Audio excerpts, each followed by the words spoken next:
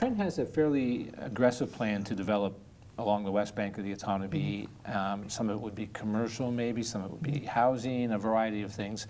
You just lost the twin pad deal to have the city's twin pad arena there uh, over environmental and native issues.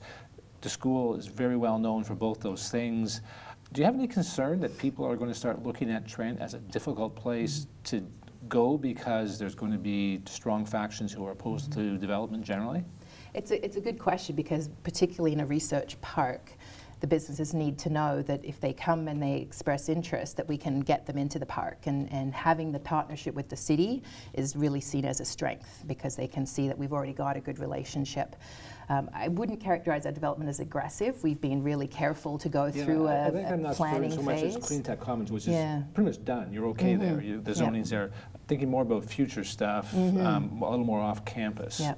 So we've uh, received lots of feedback over the last year, and year, year or two, and, and so we've undertaken a very different planning process than what's been done in the past. So we've just come out of now a year's worth of field studies, Indigenous engagement, really looking at understanding the land um, and what's happening on the land and the heritage and history of the land before we talk about the land uses. Uh, so that isn't something that we've done before, um, and I think that was where um, some people said, you know, it would have been useful to have some, you know, additional voices, you know, give their perspectives on that. Part of the challenge is whenever you're doing planning, um, people are less interested in that until things start happening, and so the, our best efforts to get people engaged in, in the planning stage, um, you know, doesn't always result in all that information coming forward. But we've we've we've got a very very different planning process, and it's taking longer. And right now we're trying to line it up with the city's official plan process, the North End environmental assessment, and the transportation plan. Um, so just trying to take a bigger view of, of the long term and, and uh, you know how do we see all of these pieces coming together and dovetailing with what the city's actions are so that Right. we're we're on the same Just page. quickly, just remind remind me of something. Is the is there still a plan to change the main access off of Water Street North and build a new bridge and all that stuff that came out Mm-hmm. five six years ago maybe? I, it, we, really, we don't know until the city's completing their transportation study, so that's part of the challenge. They're right in the middle of that. So they'll be doing, I understand, more consultation later um, in the next couple of months Julie, on that. a question I asked uh, Rhonda Keenan. You know, we uh, we're living in a world of uh, three big trade deals: uh, CPTPP, a Canada-European trade deal, uh, NAFTA too. So, in, in a world that capital flows are moving in nanoseconds every mm-hmm. day, how does uh, the Cleantech Commons? How do we get that message on a national and mm-hmm. international basis? Because ultimately, we want investment to flow into this, mm-hmm. significant investment uh, to it. How do we go out and chase that down? Mhm, Yeah, there's a couple of ways we do that. Um, one is we have alumni all over the world. Uh, so uh, it is a focus of our conversations and our visits with alumni. We look for alumni in the sector all over the world and make sure that they're understanding what we're doing.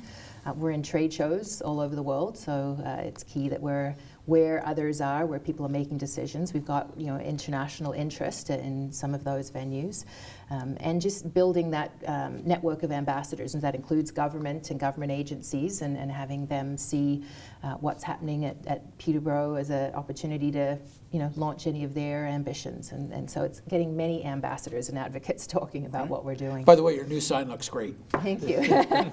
You know, Jeff, uh, I mean, that's a, a a great point you bring up about ambassadors. In my in, in business, uh, it used to always be uh, Peterborough hockey, and it still is somewhat. But more and more, it's I went to Trent, or I went to Flem. I mean, the colleges that have been here, at, you know, and these are people that could be anywhere in the world, and those connections. And it's good to hear that uh, Trent is still connected in that flow of students that come in and then back out. I want to go back to a different flow, though. It's traffic flow.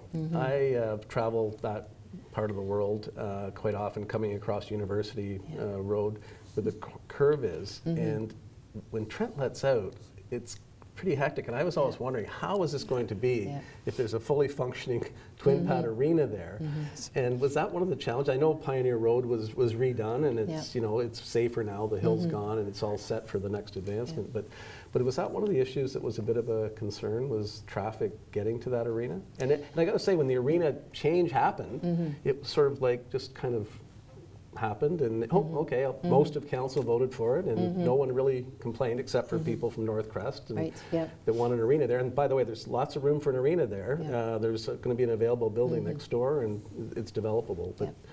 Yeah, the city certainly knows that there's um, traffic challenges as we are growing in the north end and, and uh, increasing residential in that area. And before Malcolm Hunt left, a couple of um, uh, planners ago, he accelerated the timing of the transportation study, seeing that you know we were going to be growing at a pace probably sooner than they had anticipated expanding.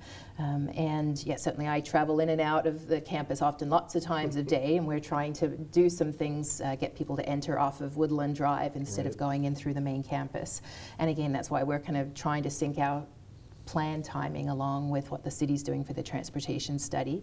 But the, one of the key things is that we need to have these facilities on major public transportation routes. And so that's a, that was a factor in the, the location because we have the Trent bus going. And one of the solutions is, of course, having more public transportation so that people are not driving. Um, and so there's a, you know, a lot of work undergoing right now to see how do we get you know, that busing. We've got the great um, opportunity right now. We've got a new busing service uh, that Curve Lake and Lakefield are partnering to bring the bus down in from the the north end, um, and so that's you know that's one of the solutions as well, uh, making the campus as walkable as possible, so that people are not requiring cars just to get around.